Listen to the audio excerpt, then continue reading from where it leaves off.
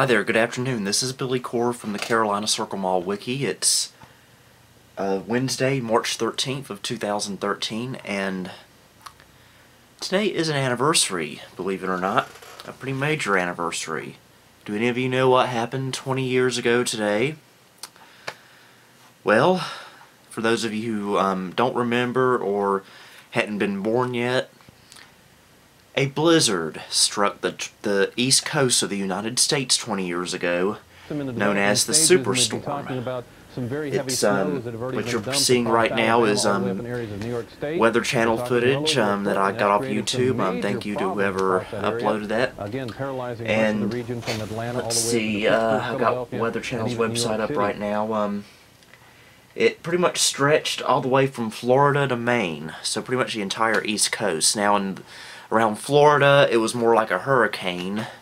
We had there were tornadoes everywhere, and it was a big mess down there. But once you got into about Georgia, that's when the snow started. Um, there was, let's see, uh, a few facts about it. Uh, thousands of people were isolated by record snow, especially in the southeast, which is where I live. An incredible 60 inches of snow fell on Mount LeConte, I guess I'm pronouncing it right, in Tennessee's Great Smoky Mountains. Double-digit snowfall totals were registered in 20 states from Alabama to Maine. 17 inches of snow and 6-foot drifts near Birmingham, Alabama, and 10-foot drifts in Latrobe, Pennsylvania. Up to 6 inches of snow in the Florida Panhandle, so apparently they did get snow down there. Hundreds of roof collapses reported due to the weight of the snow. Over 200 hikers had to be rescued from the mountains of Tennessee and North Carolina. Four states set all-time statewide records for deepest snow. Georgia, North Carolina, Tennessee, and Maryland. So yeah, it was a big mess here. And we had, um, and in the Greensboro area, I, I really can't find any information on what it was like around here, but I, if but from what I recollect and from newspaper articles I've seen at the library, we got about four inches of snow, and if I recall correctly, we got about an inch of ice. Yeah, um, and a lot of wind, so even in Greensboro it was a pretty big mess. So with all the wind and an inch of ice, there were widespread power outages all throughout the Greensboro area.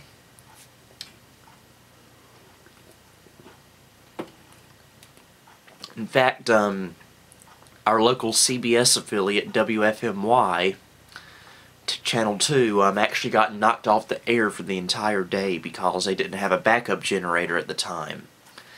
So, um, there was no CBS in Greensboro that day. And, what else? Oh yeah, my memories, um, I was three years old at the time, and the storm hit at about 10 o'clock that morning. It was a Saturday. And at, and at 12 o'clock noon that day, around or somewhere around that time, we lost power. And so I had to pack my bags and walk up. Not when my parents took me to my grandmother's house, who was just two doors away from me at the time. And I spent the night there because she still had power. I remember um, about 8 o'clock that night, we did have a, a, a power surge, and my grandmother freaked out, but came back on in about a second. And then the next day, somehow, on the 14th, I, I wound up at my aunt's house, who was about five minutes from me, and I remember getting a phone call, well not me, but I remember us getting a phone call saying that power had been restored to our house, so my aunt took all of us home in her and her little red um, Chevy Camaro fit us all in there somehow and we came back home.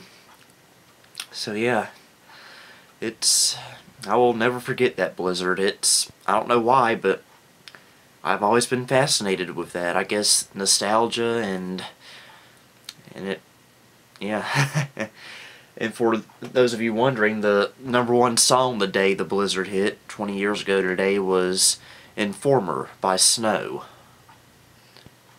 Which is kind of ironic in a way.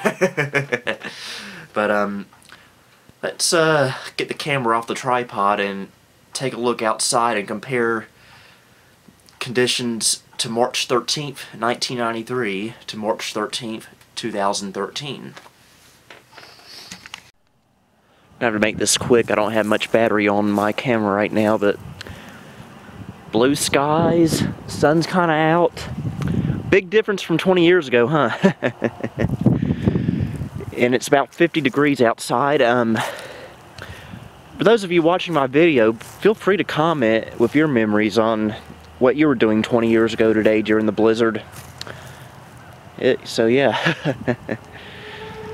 I'll never forget that day.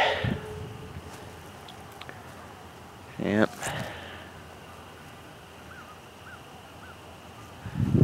And 20 years ago at this time, um, from that, from those grapevines down, we did not own that. We didn't own that until 1998 or 1999. So none of that was there. It was just a field.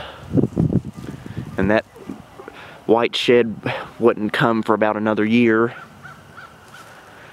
You know, it's kind of interesting looking back the way things were 20 years ago. So, for now, this is Billy Corse signing off on March 13th, 2013.